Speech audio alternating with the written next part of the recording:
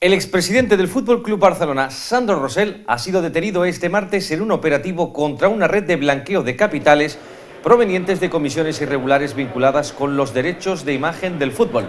El operativo se ha desarrollado por orden de la Audiencia Nacional e incluye varios registros en relación con una presunta red de blanqueo liderada por el propio Sandro Rosell, empresario relacionado con el negocio del marketing y presidente del Fútbol Club Barcelona entre los años 2010 y 2014.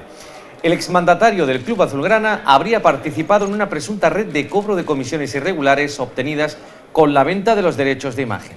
En la trama habrían participado otras personas como la mujer de Sandro Rosell, Marta Pineda.